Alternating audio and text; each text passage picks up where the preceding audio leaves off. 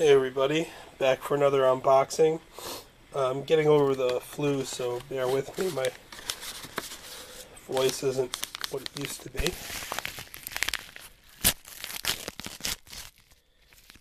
Alright. Just a little unboxing today.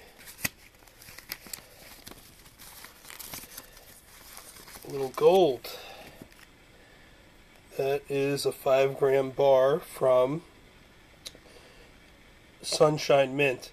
A uh, little piece of information. I know a lot of people know this, but for the people that don't know, Sunshine Mint is the same uh, private metal company that makes the uh, the blanks, the planchettes for American Gold Eagles for the government, for the mint to uh, to press.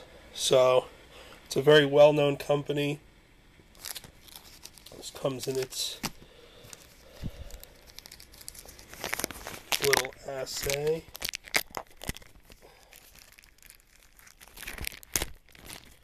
Sorry for the shaky camera, still without a tripod. Yep. So it comes with its little assay card that it's built into. Five grams.